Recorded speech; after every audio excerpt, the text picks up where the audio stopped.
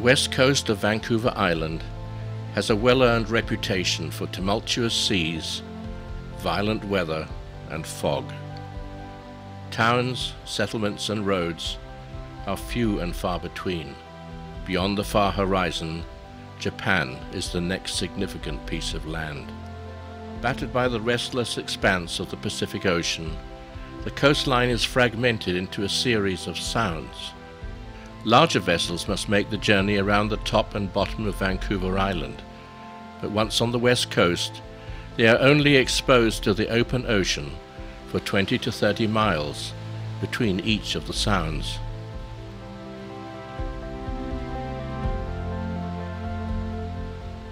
Our vessel is Venture, now in her 10th season with more than 48,000 miles under her keel.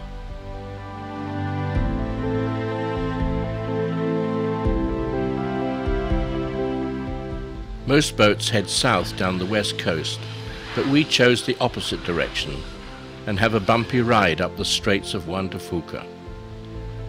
We spend the night in Port Renfrew and continue on to West Bamfield,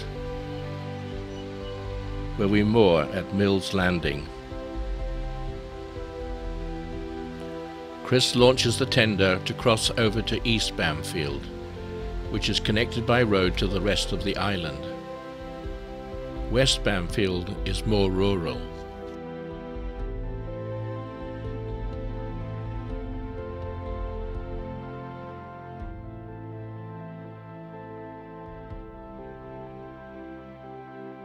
Our evacuation route takes us past waterfront cottages and the Coast Guard station.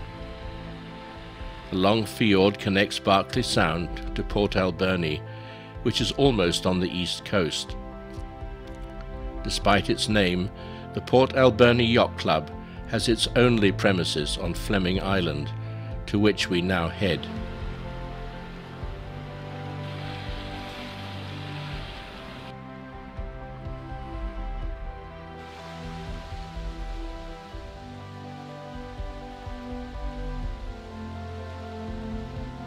Here we receive a great welcome and are made to feel very much at home.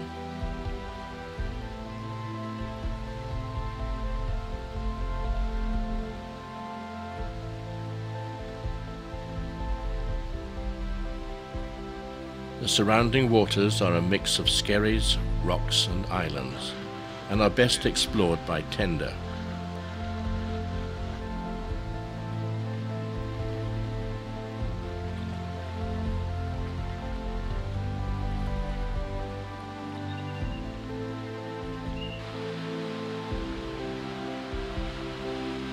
There are numerous caves. Colourful sea stars cling to the rocks at low tide. The plumage of this ruddy turnstone blends with its surroundings.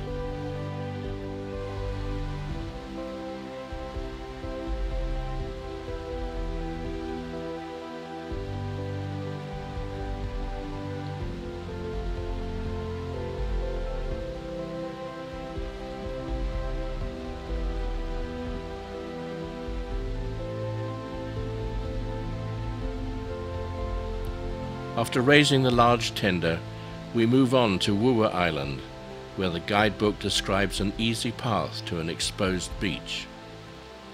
Hmm.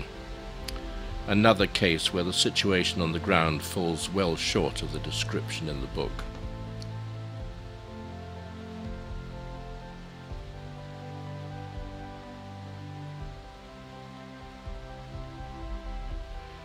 Chris brings the small tender to collect us from a beach, densely packed with logs.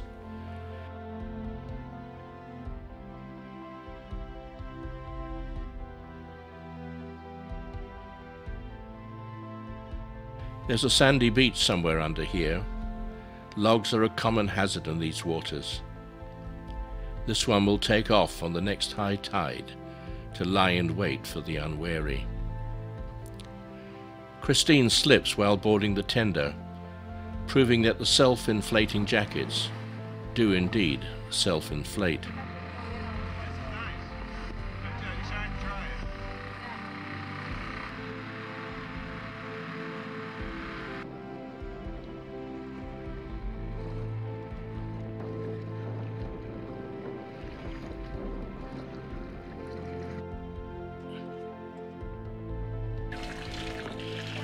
Venture carries two tenders, a larger Zodiac for longer trips, and a small one with a flat bottom for going ashore.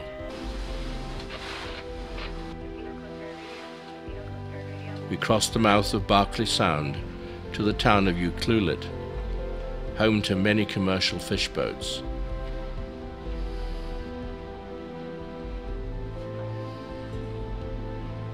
Ucluelet is connected by surfaced road to the rest of the island.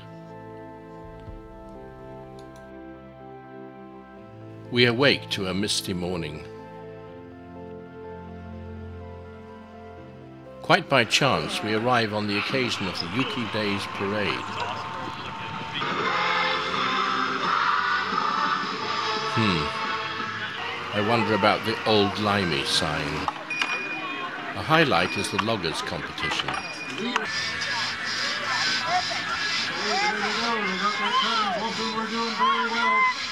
Down there on the left Lambert over here on the Hewitt is pushing the wood out. That's that man over here pulling it out. It's going to be, it's going to be, uh, This is a scary competition. Watch the guy in the foreground. This is a handicap event, and he started last, 40 seconds after the guy at the far end.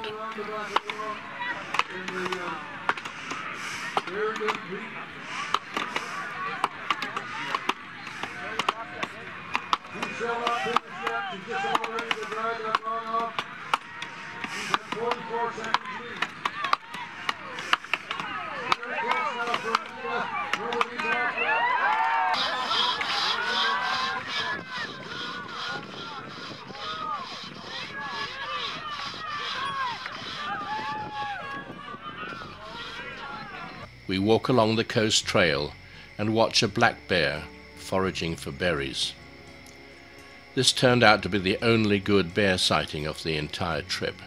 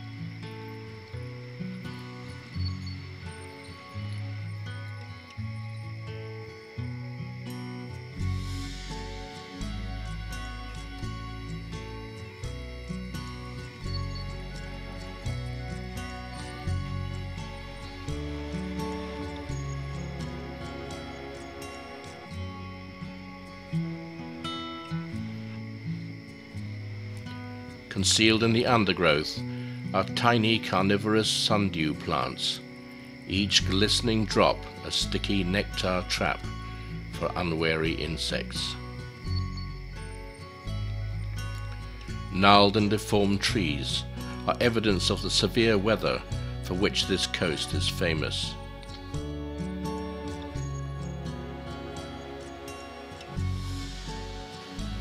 This photo of a photo in a shop window shows the Tofino lifeboat leaving harbour during a winter storm.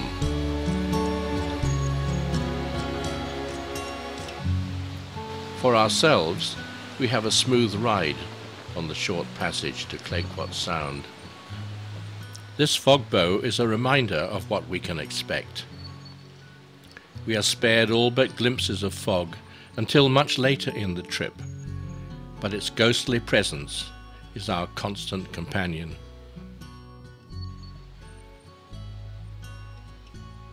Having visited Tofino by road from Ucluelet, we moved directly inland up Clayoquot Sound.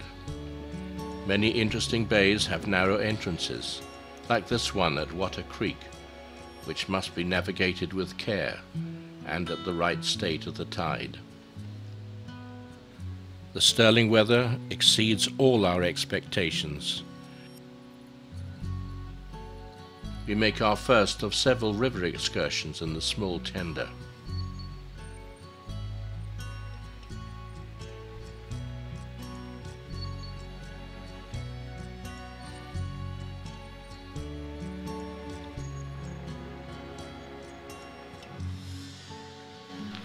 The water is shallow and crystal clear.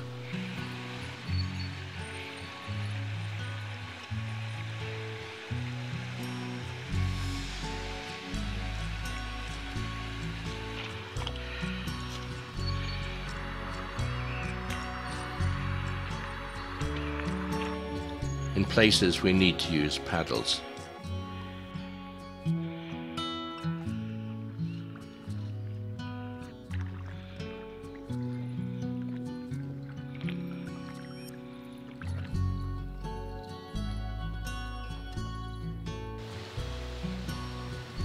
Strangely, the water is brown at the mouth of the river.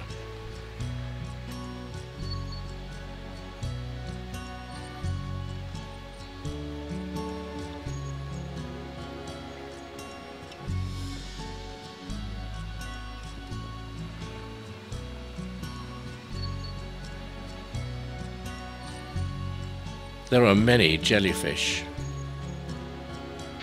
Concerned about one being sucked into the generator intake, we restrict its use. Chris examines this clump of flowers, apparently sprouting from solid rock. Nootka, the next major sound, is of great historical significance. We go first to Resolution Cove, where Captain Cook anchored his ship, Discovery, in 1778. A plaque on the rocks marks this event, but there remains no other evidence of his visit. We cross the Sound to Friendly Cove and anchor below the lighthouse, built in 1911, which we later visit to learn that powered by a 35 watt bulb, its light can be seen for 16 miles. Just 230 years ago, Friendly Cove was the scene of bitter rivalry between the British, Spanish, Americans, and the local people. It was the center of a bustling trade in otter pelts, which ultimately led to the total elimination of sea otters along the entire coast, as well as the demise of the local inhabitants, who had been living here during the summer months for 4,000 years.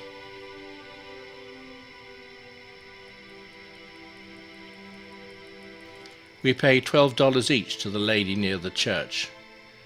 There are many local kids attending a summer camp. Only one was brave enough to accompany us inside. All the others said the church was full of ghosts. The present church was built in 1956 after a fire destroyed the original, built in 1911.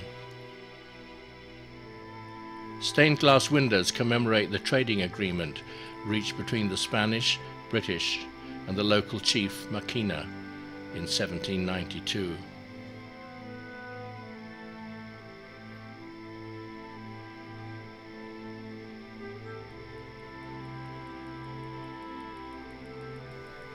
Outside, a totem looks out to sea, welcoming visitors from all around the world.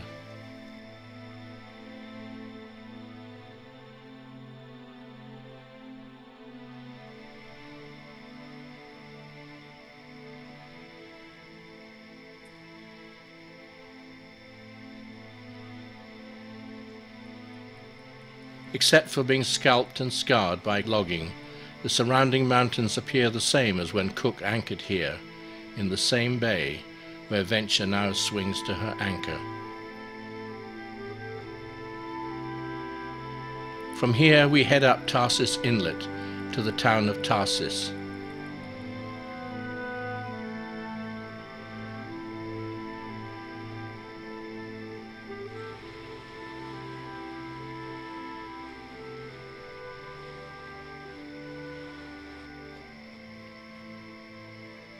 Here we are directed into a tight spot in Westview Marina.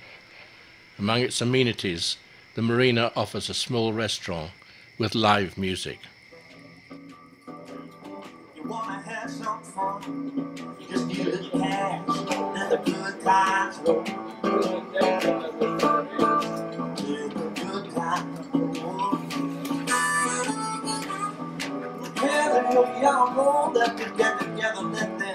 Good times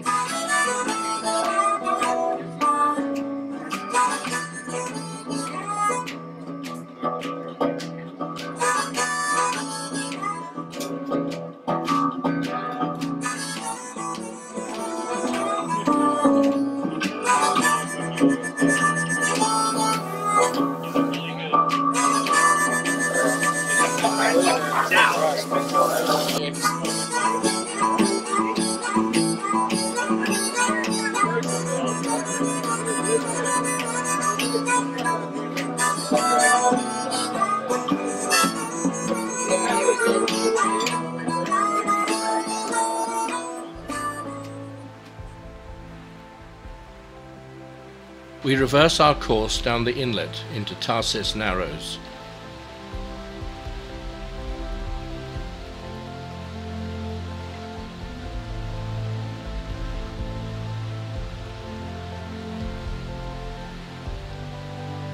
Boats are few and far between.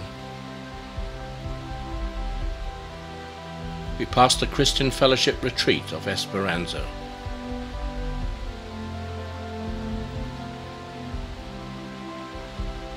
Fish farms are a common sight.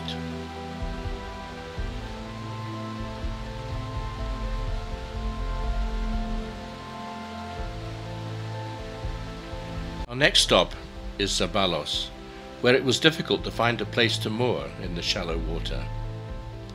It too is connected by road, but did not really live up to its billing.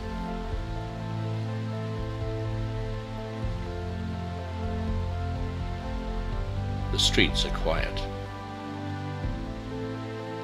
All is calm and still when we leave the following morning.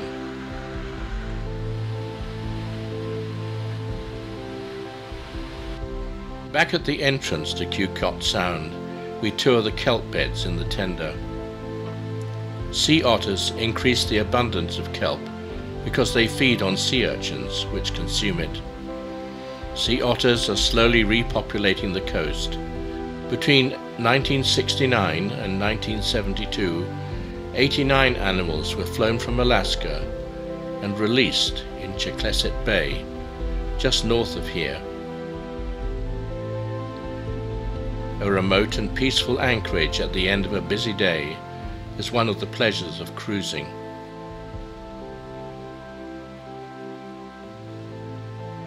Mist hangs over the small settlement of Walker Cove.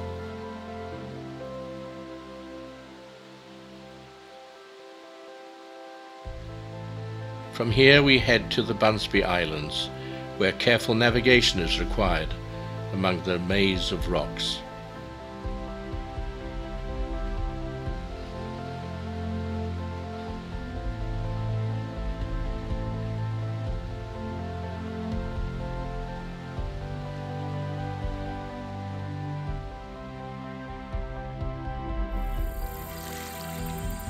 Go ashore and walk along a beach in Battle Bay.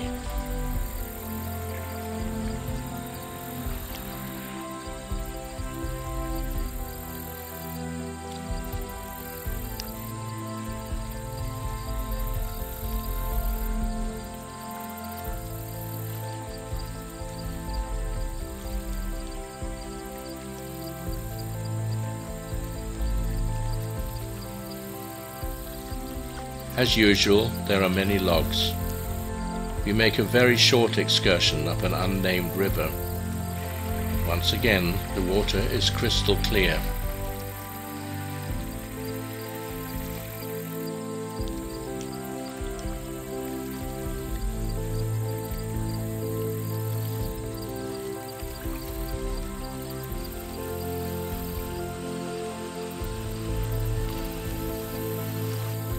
Brooks Peninsula is a major landmark on the west coast of Vancouver Island, and rounding it is always a cause for celebration.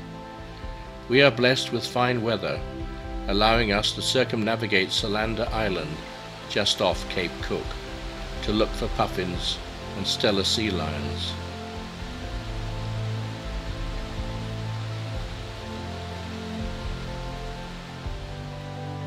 The surface of the sea is covered with countless small jellies with floating sails.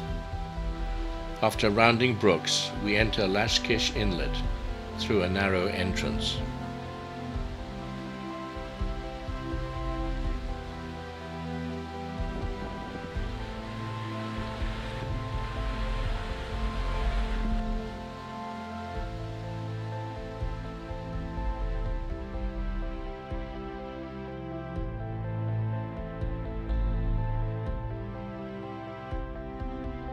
The lower branches of trees are submerged long enough at high tide to grow barnacles. We proceed deep into Quatsino Sound and through Quatsino Narrows to the small town of Coal Harbour and thence to the Marble River, where careful planning is essential because at low tide The entrance is barred by sandbanks.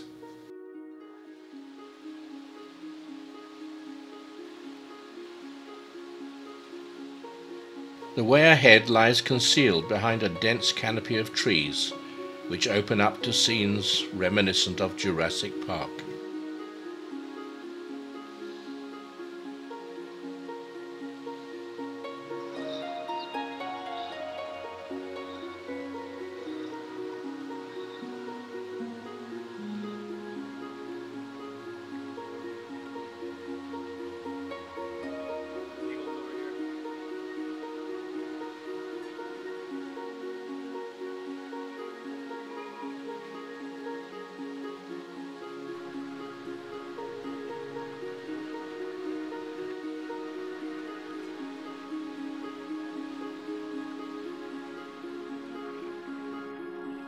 Here, a cave, large enough to enter in the tender.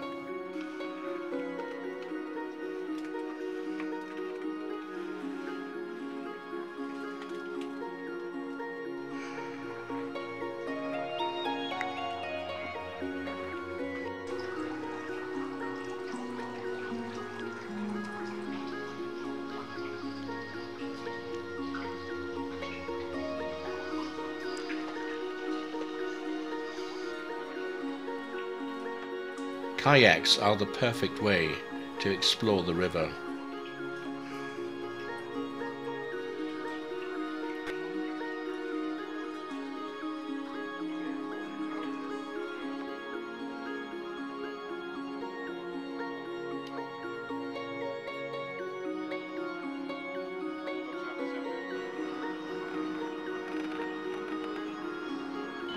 Even at high tide, Shallow spots are a challenge.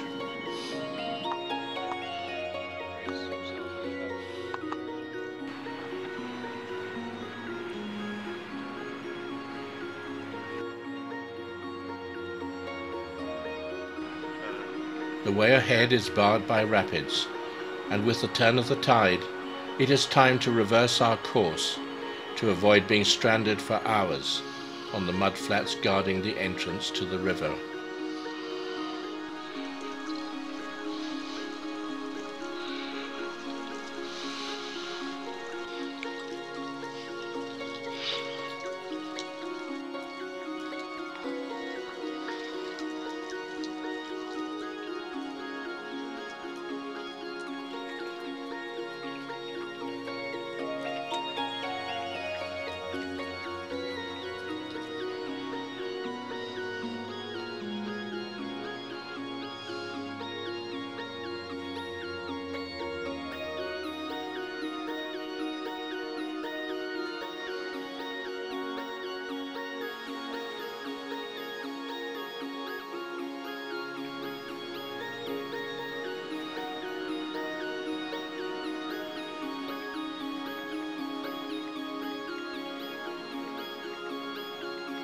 With the sun at our back, one side of the river is cast in deep shadow.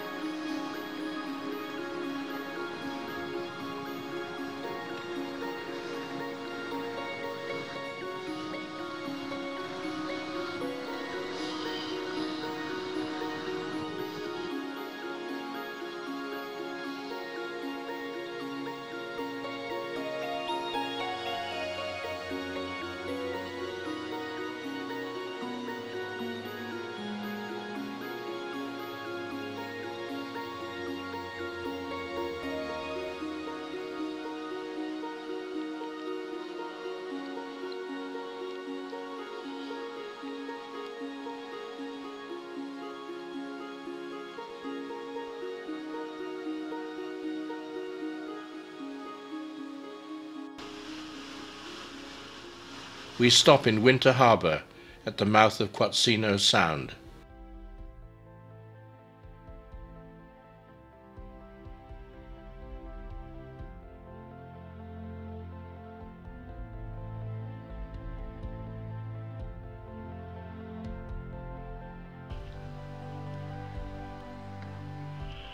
Sea otters hunt close to the boat.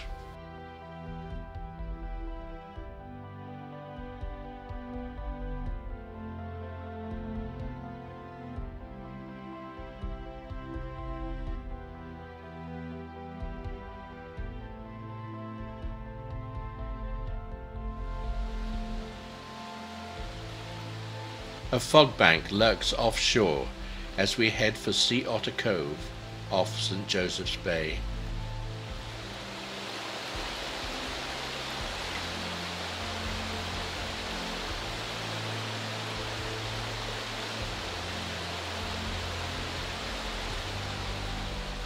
Several other boats are anchored here, including one group which has spent three weeks clearing garbage from remote beaches.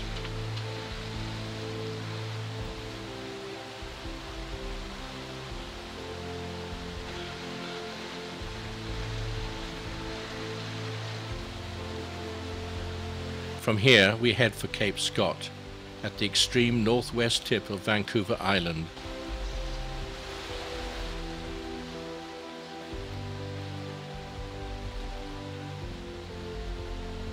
It is here that fog finally wraps us in its embrace. We never see Cape Scott, just this glimpse of one of the offshore islands.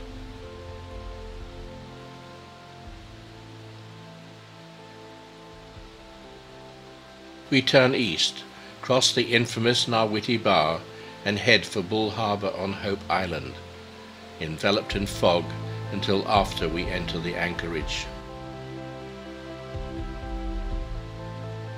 The following morning, it lies in wait for us at the entrance to the anchorage. We use radar to guide our way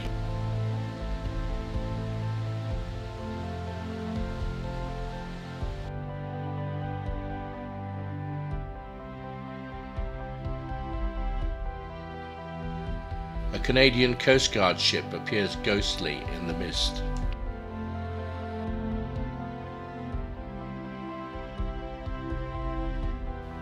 From Port McNeill, we divert from our circumnavigation of the island. Before continuing south, we take a diversion across the Queen Charlotte Strait to the Broughton Islands on the mainland to renew our acquaintance with the Roaring Hole Rapids.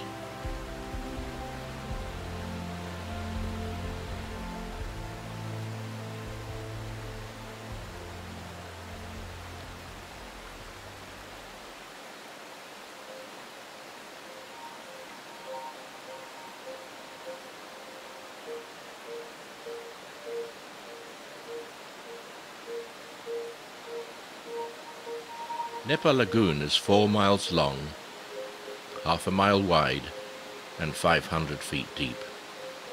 Every six hours, at the turn of the tide, the water streams in or out of this large body of water through a narrow channel only 40 yards wide.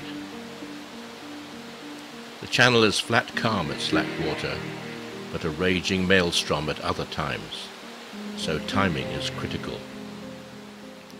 The chart reads, High water slack occurs two hours after high water at Alert Bay. Low water slack occurs 3 hours and 30 minutes before higher high water and 2 hours 55 minutes before lower high water. This tidal diagram illustrates higher high water and lower high water. Here the water is streaming in through the narrow channel maybe an hour after slack, when it is still safe to take a tender with a powerful motor into the rapids.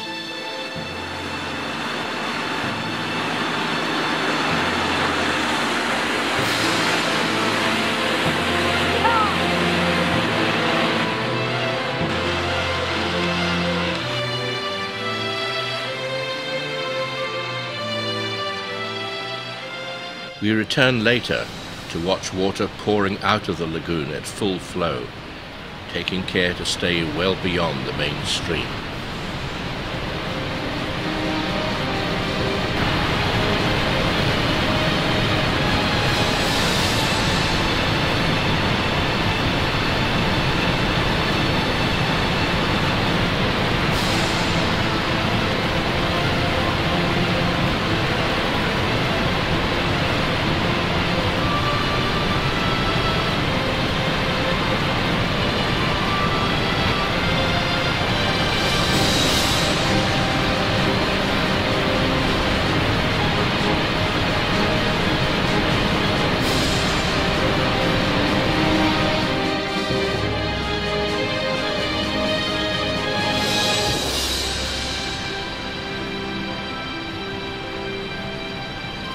We spend the night in a nearby anchorage.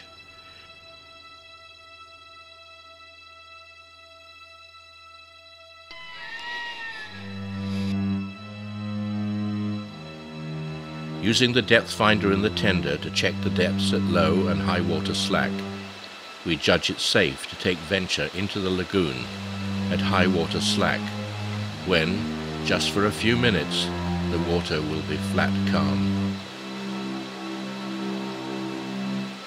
It is hard to believe that within two hours this will once again become a raging torrent.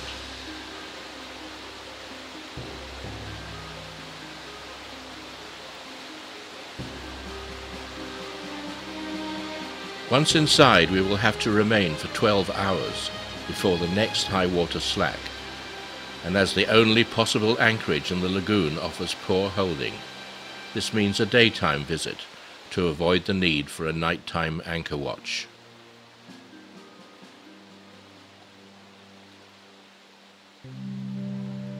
We find ourselves in a lost world as we cruise the length of the lagoon.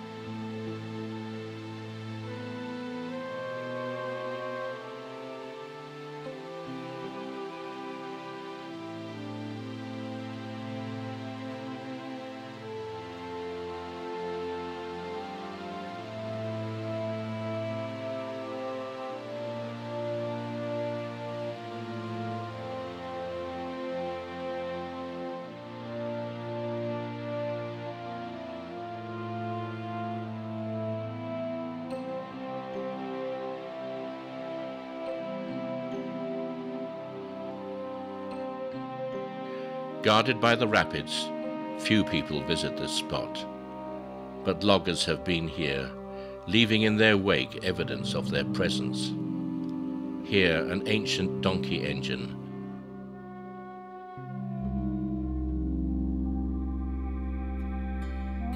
And there, an abandoned bathtub.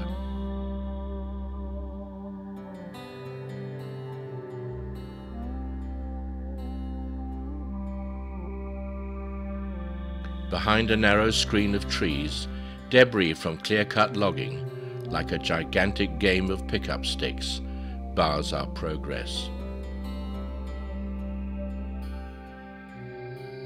Strange mosses hang from the trees.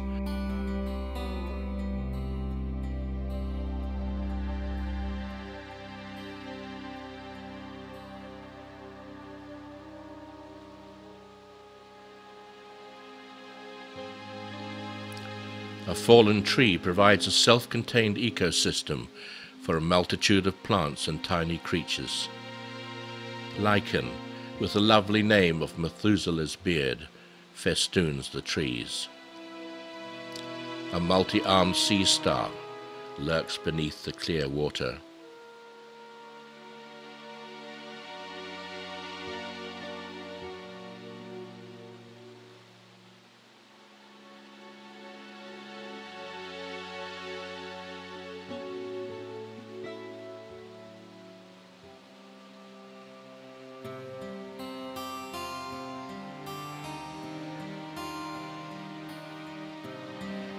Time and tide wait for no man, and it is time for us to leave.